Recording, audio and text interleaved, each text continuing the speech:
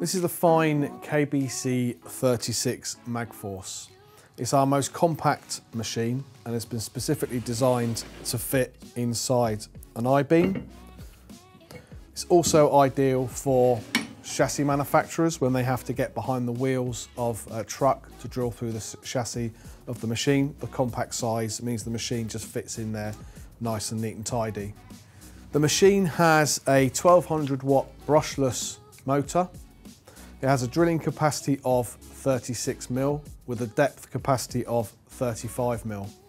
You can twist drill up to 16 mil and with the twist drills we do a weld-on fitting which you then put your twist drill into so you can do your twist drilling. Uh, you can also tap up to M12 and we have the same system so you have a weld-on fitting with your tap that fits into your weld-on fitting to do your tapping up to M12. The machine has a variable speed from 130 to 610 RPM and that is controlled on this keypad at the back here.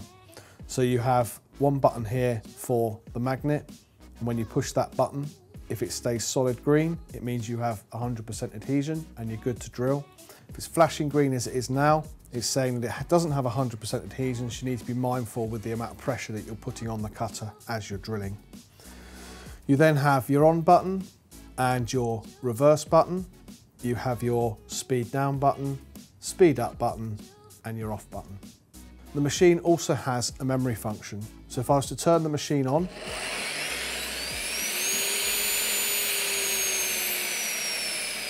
reduce the speed right down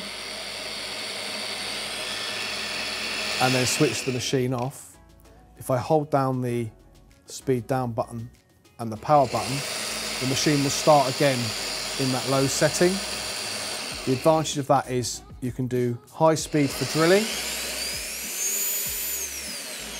Once you've drilled your hole, you can then go into your low speed for your tapping. And then you have your reverse function to bring the tap back out of the material. The machine's operated with a half inch ratchet, so that fits into the side of the machine. And then as you use the ratchet, the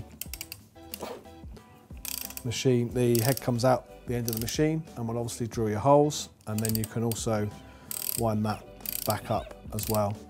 That's obviously great for when you're in tight spaces. You can't have the usual three angled uh, arm on there because there's just not enough space within the uh, I-beam to use that. The machine comes fitted with a safety guard. Mm. Um, it also has a tilt sensor, so when the machine is running, if it is to move suddenly, the machine will automatically cut out.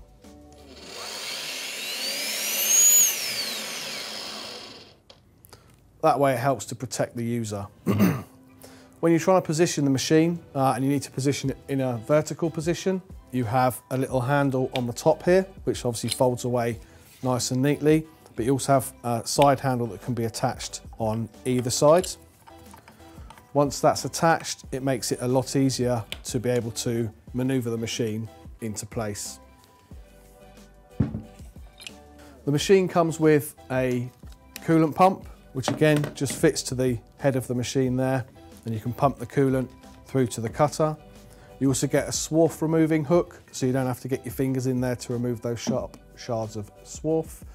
And you get the safety strap to fit the machine to the material that you're drilling to ensure it doesn't fall off.